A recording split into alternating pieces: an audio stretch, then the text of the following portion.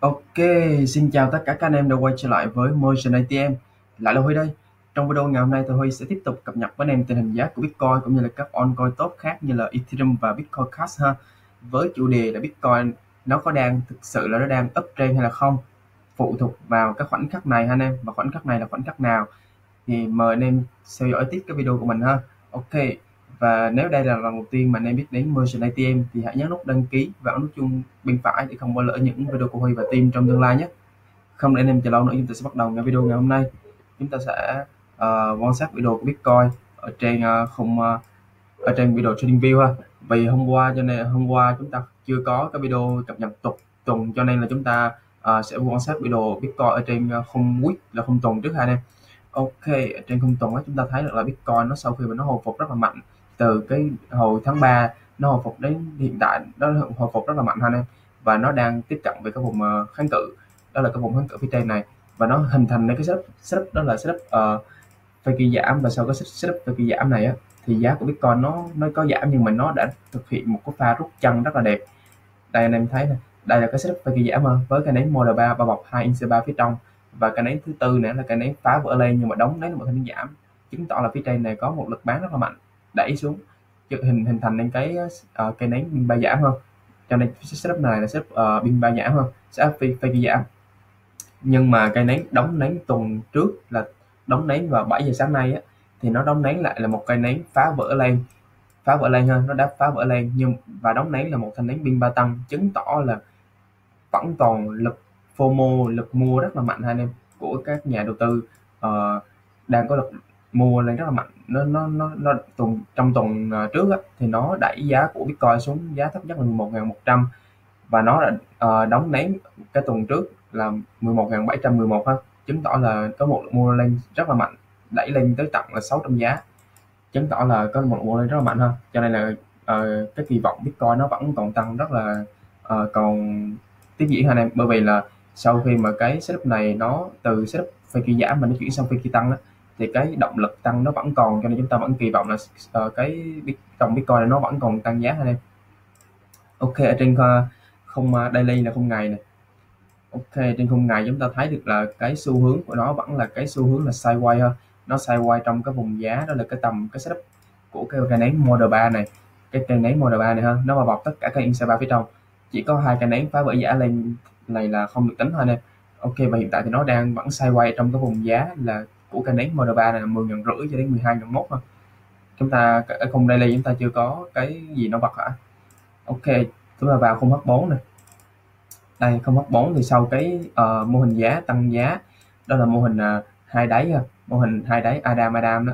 Thì cái và cái giá của uh, Bitcoin nó đã phá vỡ cái mức giá thấp mức giá cao nhất là cái đường neckline này ha. Sau đó thì nó quay trở về nó retest một lần nó hiện tại cũng là cái pha retest của cái đồng Bitcoin này. Và trước và hiện tại thì giá của Bitcoin nó đang à, tiếp cận với cái vùng kháng cự anh em cũng là cái vùng dần co trước đó. Đây em thấy là cái đây là cái vùng à, kháng cự trước đó này là cái vùng đỉnh trước đó cũng là cái vùng à, kháng cự trước đó luôn. Và trước đó nữa là tầm ngày 16 tháng 8 á, nó là cái vùng dần co. Sau cái vùng dần co này á, là một cú bum rất là mạnh lên. Như em thấy trên uh, biểu đồ ha ok. Và hiện tại thì cái sau cái setup uh, sau cái mô hình giá uh, Adam Adam thì giá của Bitcoin nó đang bum nó đã phá cái đường neckline này. Xác nhận cái mô hình này nó nó đã được hoàn thành thôi. Và có thể là uh, cái mô hình này nó sẽ tạo động lực tạo động lực để cho Bitcoin nó sẽ phá được cái vùng 11.764 đến 11.894 này.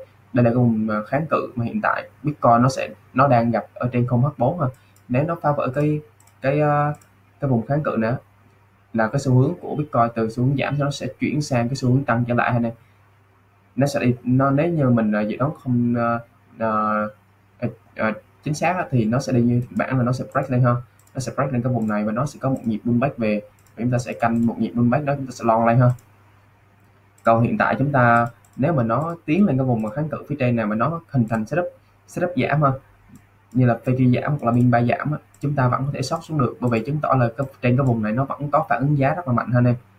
Ok và như anh em thấy là sau khi mà nó uh, giá của Bitcoin nó đã quay hiện tại nó sau khi nó phá cái mô hình uh, tăng giá thì hiện tại nó đang retest lại cái mô hình này ha và hiện tại nếu mà nó retest là một đống nến một thanh nến pin ba tăng á.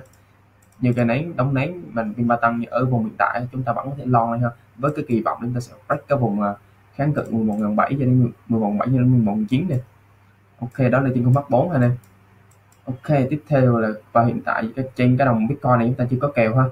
Chúng ta chỉ có lướt scalp scalp, scalping là trai lướt sóng cái đồng bitcoin này thôi. Ok, tiếp theo là cái đồng ethereum. Ethereum như chúng ta, như như mình đã nói à và và cái đồng bitcoin cash này cái vùng kháng cự này nó cũng là cái vùng mà, cái vùng mà chuyển giao xu hướng này đây là cái cái đỉnh đỉnh dẫn đến cái đáy thấp nhất trong một cái xu hướng giảm.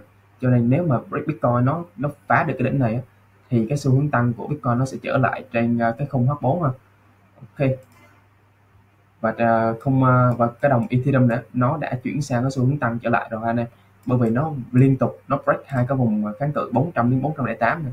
và cái vùng uh, 414 cho đến 418 đây là hai cái vùng kháng cự trước đó mà uh, Ethereum nó đã nó đang gặp mà hiện tại nó đã break được hai cái vùng này luôn rồi. Và hiện tại chúng ta chỉ chờ nó pullback về thôi chúng ta chờ nó pullback về hai một trong hai cái cái vùng này chúng ta sẽ long lên ha.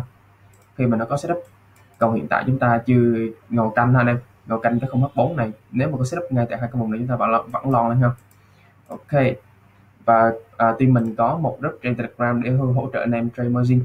Anh em muốn tham gia channel VIP của team mình đó để nhận các kèo à, lướt sóng cũng như là uh, các kèo swing thì anh em search telegram bằng cách là search icon margin apm enter thì nó sẽ ra một cái kênh channel của team mình. Trên đây sẽ có các kiến thức cũng như là các cập nhật của các à, team mình ha cũng như là các cái sự kiện uh, hướng dẫn uh, giúp cho anh em uh, kiếm được uh, coupon tiền mặt ha. Có độ có đòn bẩy rất là cao. Và anh em muốn nhớ tham gia nhé. Và anh em muốn tham gia vào channel VIP á, thì hãy tham gia cái group của team mình và sẽ được cái admin hướng dẫn vào channel VIP của team mình ha ok tiếp theo là cái đồng Bitcoin Cash này. Bitcoin Cash thì như như, như uh, thì uh, chúng ta đã có à, chúng ta đã gặp một cái lệnh bị dính stop loss anh em. Bởi vì cái cái đồng Bitcoin Cash này nó đi nó đi khá là khó chịu.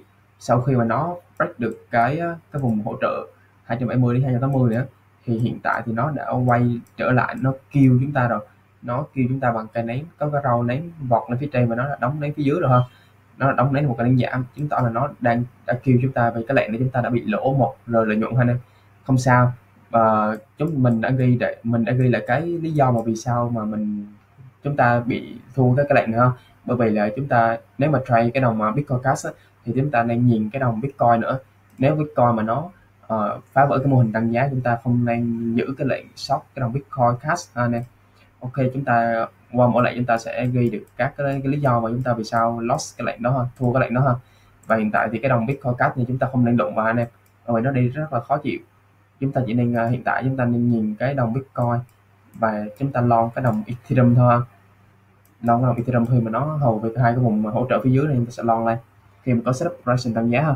Ok và hiện tại thì cái Bitcoin dominant á, thì nó vẫn đang giảm rất là mạnh.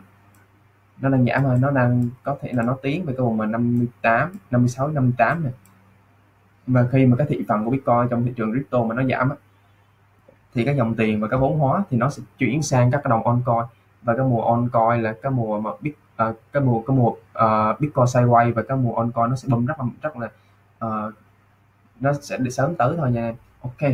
Và cái uh, video nhận lại thị trường của mình ngày hôm nay ngày 31 tháng 8 đến đây kết thúc. Và trước khi kết thúc video thì với các anh em chưa tham gia group Motion ATM thì hãy tham gia bằng cách là scan cái mã QR code trên màn hình hoặc tìm kiếm trực tiếp trên Telegram cách là search a Motion ATM để tham gia nhé.